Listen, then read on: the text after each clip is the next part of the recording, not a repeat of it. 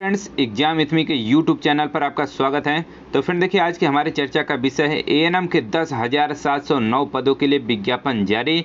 Without पेट के candidate भी इसमें करें आवेदन। वेतनमान क्या रहने वाला है। ऑनलाइन आवेदन कब से होंगे और इसकी अंतिम तिथि क्या है? इन सभी बिंदुओं पर हम लोग यहाँ पर चर्चा करेंगे, जिसके लिए देखिए यहाँ पर ऑफिशियल नोटिस भी जारी कर दिया गया है। उस नोटिस को भी मैं दिखाऊँगा आपको और जो है कि कैटेगरी वाइज जो यहाँ पर सीटें आरक्षित की गई, वो भी मैं आपको दिखाऊँगा कब से इसके आवेदन आप कर सकते हैं और कब तक है इसकी लास्ट डेट और देखिए UP triple S C A N M नौ हज़ार दो सौ बारह आयोग से रिज़ल्ट सूचना के संबंध में भी हम लोग यहाँ पर डिस्कस करने वाले हैं कि क्या आपका रिज़ल्ट जारी किया जा सकता है। और देखिए यहाँ पर हम लोग जो है कि ए एन एम के संबंध में हम लोग यहाँ पर चर्चा करेंगे दस हज़ार सात सौ नौ पदों के लिए। उससे पहले आपको बता दें कि अगर आपको ऐसे रियल और ऑथेंटिक अपडेट चाहिए तो आप हमारे चैनल से जुड़िए। तो आइए चलिए शुरू करते हैं अपनी जानकारी को। तो देखिए फ्रेंड्स, यहाँ पर आवश्यक सूचना।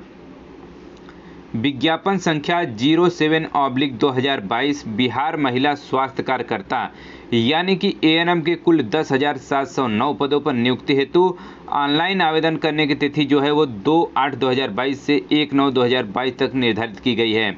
जो पदों की कोटिवार देखिए विवरण है, वो यहाँ पर देखिए निम्नवत दिया गया है।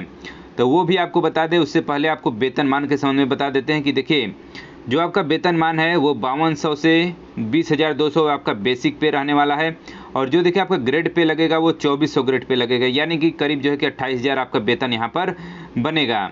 और देखिए, आपके सातवें जो कि वेतन संरचना में लेवल चार आपका यहाँ पर श्रेणी रहेगा।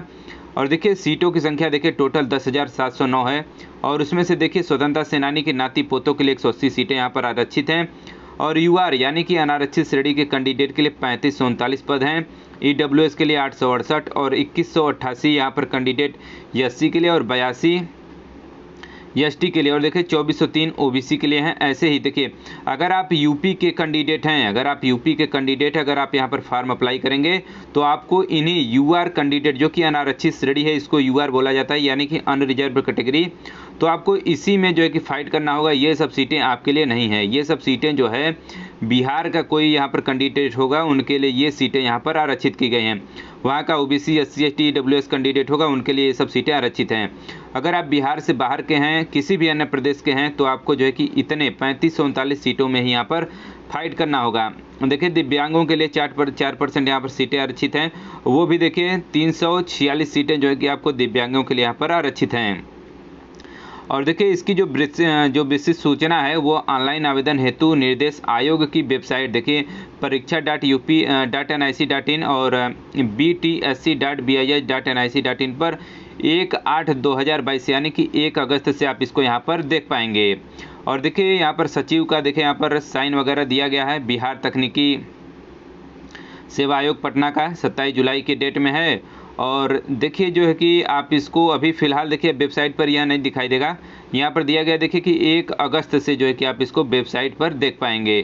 फ़िलहाल ये मुझे सूचना मिली है और देखिए आप पहले से ही प्रिपेयर रहिए, इसमें विदाउट पेट जो है कि आप यहाँ पर आवेदन कर सकते हैं। क्योंकि यहाँ पर बिहार में कोई पेट का प्रावधान नहीं है तो जितने भी कैंडिडेट यहाँ पर पेट में वंचित रह चुके थे, नौ हज़ार दो सौ बारह एन में अप्लाई नहीं कर पाए थे, वो कैंडिडेट देखिए यहाँ पर अप्लाई करिए और यहाँ पर सलेक्शन लीजिए। और देखिए, अगली खबर है UP triple S C N M नौ हज़ार दो सौ बारह रिज़ल्ट को लेकर।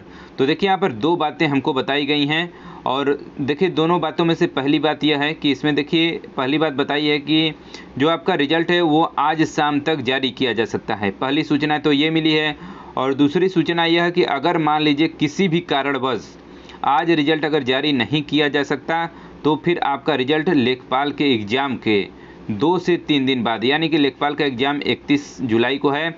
उसके दो से तीन दिन बाद, यानी कि लगभग दो या तीन या चार तारीख को आपका रिज़ल्ट यहाँ पर डिक्लेयर किया जाएगा। तो देखिए, दो कंडीशन यहाँ पर हमको बताए गए हैं।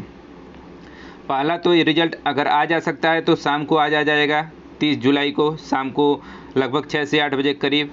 अगर आज नहीं आता है रिज़ल्ट तो देखिए आपका रिज़ल्ट जो है कि लेखपाल के एग्ज़ाम, यानी कि इकतीस जुलाई को लेखपाल का एग्ज़ाम है। उसके दो से तीन दिन बाद, लगभग तीन या चार तारीख या दो तारीख को आपका रिज़ल्ट यहाँ पर फाइनली डिक्लेयर किया जाएगा। यही दो बातें बताई गई हैं। सूचना से जो कि आयोग से यही सूचना मिली है रिज़ल्ट के संबंध में। तो आशा करते हैं कि हमारी बात आपको बहुत अच्छी तरीके से समझ में आई होंगी। और यहाँ पर जो भी यहाँ पर कैंडिडेट ने पेट का फॉर्म फिल करके इस फॉर्म को नहीं जो नौ हज़ार दो सौ बारह में अप्लाई नहीं कर पाए थे, वो लोग कैंडिडेट देखें यहाँ पर दस हज़ार।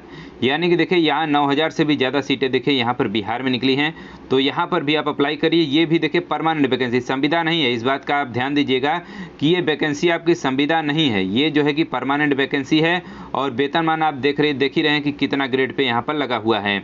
तो सभी इसके संबंध में फिर से यहाँ पर आपको जो है कि ऑनलाइन जब अपडेट होने लगेगा, जब ये वेबसाइट पर आ जाएगा, जब इसके फॉर्म फिल होने लगेंगे तब फिर से आपको जो है कि यहाँ पर अपडेट किया जाएगा और फॉर्म फिल करने का तरीका भी आपको बताया जाएगा कि आपको फॉर्म कैसे फिल करना है।